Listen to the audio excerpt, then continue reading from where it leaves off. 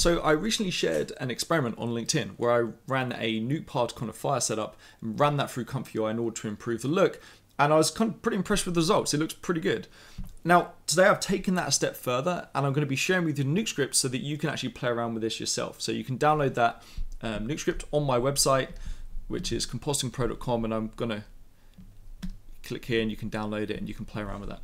So what I've done in order to take it a little step further is I took the output of Comfy UI and actually used it to kind of train a CopyCat node in Nuke. So we've got the input here, these are the Nuke particles that went into Comfy UI, and this is the output once it kind of came out the other side of the Comfy UI node, node, uh, node graph.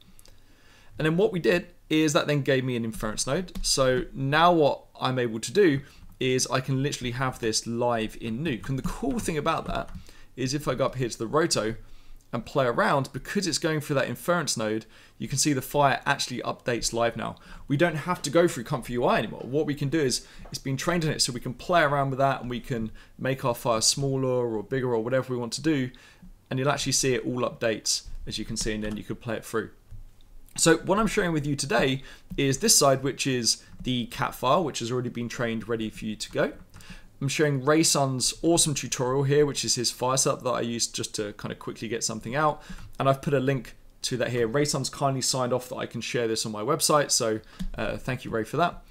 And yeah, so what you'll need to do when you open this up is just reconnect the cat file here that you download, just input it here, and then you'll be able to play around with this in your own time.